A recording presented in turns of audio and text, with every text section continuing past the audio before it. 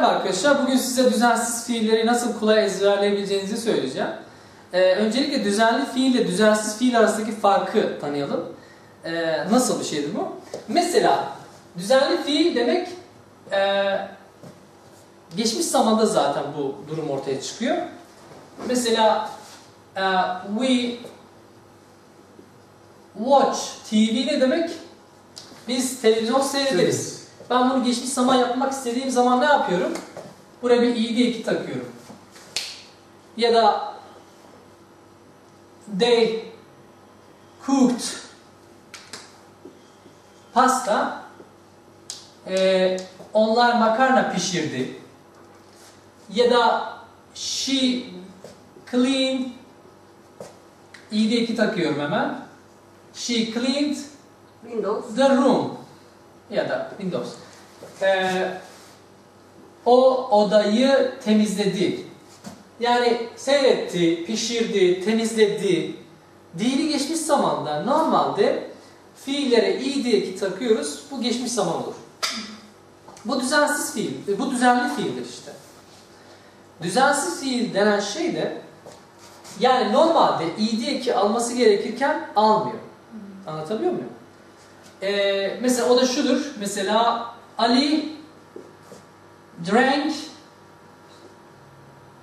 tea mesela. Ali çay içti. Normalde drink kelimesine id eki gelmesi gerekiyordu. Yani şöyle olması gerekirdi. Drink'a id eki gelmesi gerekir. Böyle bir şey mümkün değil. Tamam mı arkadaşlar?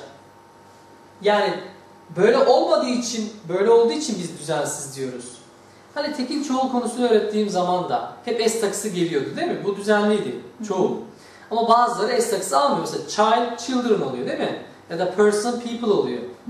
Man, man oluyor. O nasıl ki tekil çoğulun düzensizi ise burada da hepsini id eki maalesef gelemiyor. Bunlara biz düzenli diyoruz. Düzenli. Ama işte Ali çay içti ya da Ayşe ate pizza değil mi?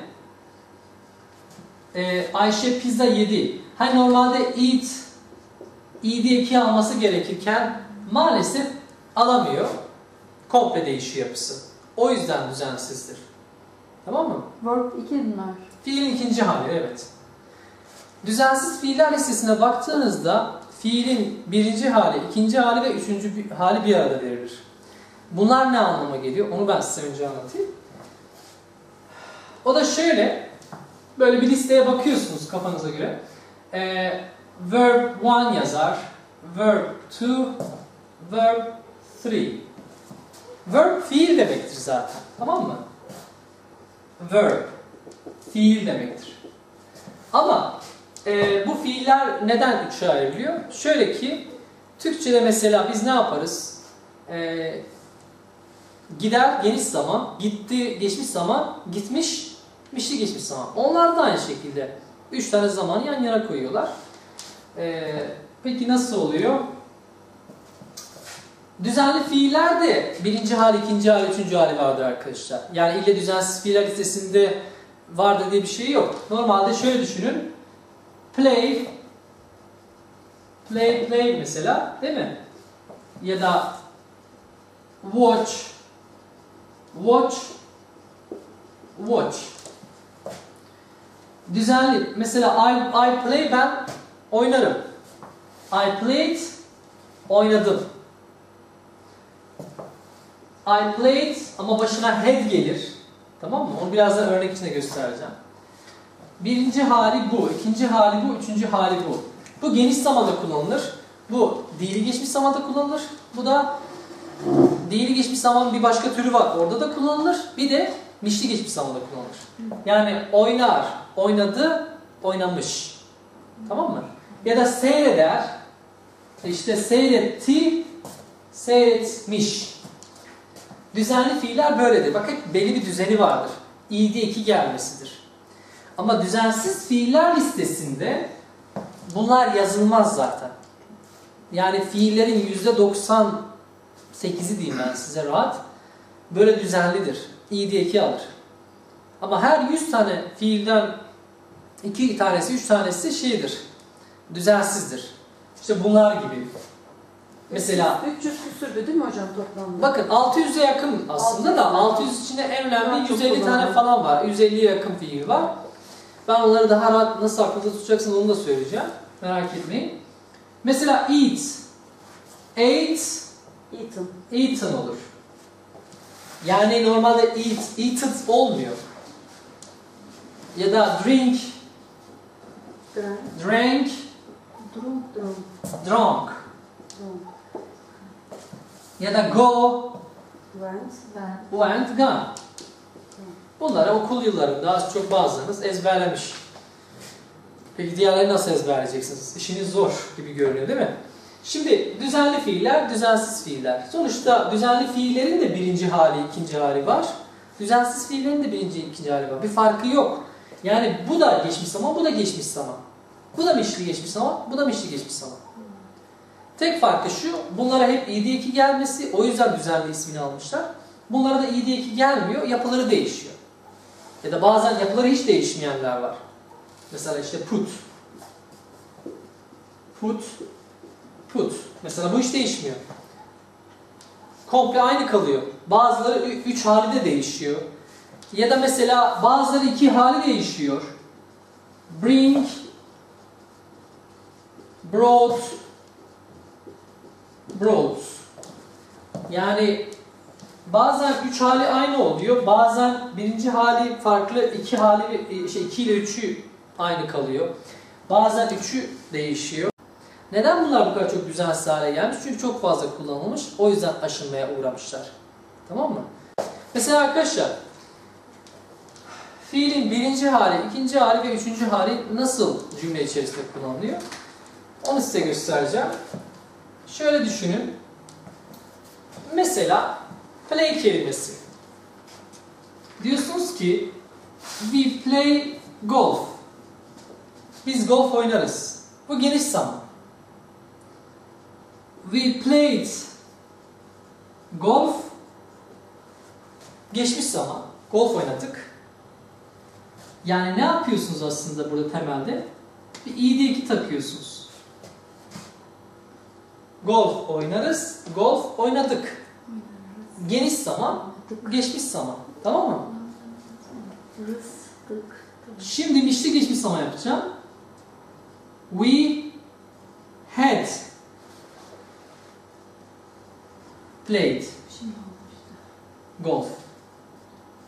Yani listede fiilin birinci hali, fiilin ikinci hali, fiilin üçüncü hali diye yani play, played, played düzenli fiiller nerede kullanılıyor diye merak ediyorsanız işte bu.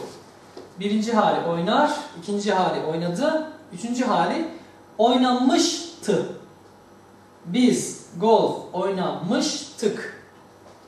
Mişli geçmiş zaman. Bu düzenli fiillerle ilgili bir örnek.